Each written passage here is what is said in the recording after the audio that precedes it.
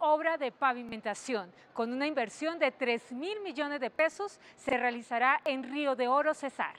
La administración municipal da continuidad a la pavimentación en zonas importantes del municipio, dando apertura al desarrollo de la malla vial tanto urbana como rural. El municipio de Río de Oro se siente muy a gusto y complacido con esa obra tan importante, obra comprendida entre Puente Cangrejo y la vereda de Sumaré, satisfaciendo la necesidad de una gran población como el corregimiento del Salobre, el corregimiento del Lobo, Vereda La María, Sumaré y El Arado, el Guamo, entre otras.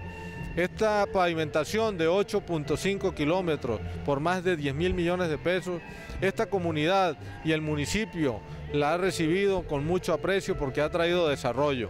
Tuvimos la oportunidad de hacer una mesa de trabajo con el señor gobernador Francisco Valle y logramos gestionar la continuidad de ese trabajo porque se venían presentando algunas insatisfacciones entendibles de los barrios Maicao y San Cristóbal y la calle Venezuela.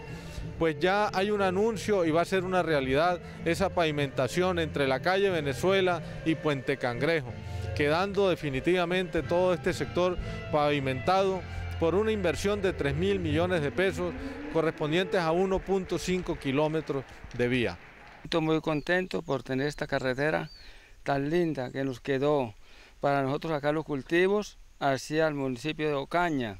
Eh, nos queda muy bueno porque esto rápidamente cualquier carro viene y nos, y nos hace la vuelta y nosotros vamos inmediatamente a Ocaña y venimos aquí en, en un rato de nada, no gastamos mucho tiempo para, para hacer las vueltas.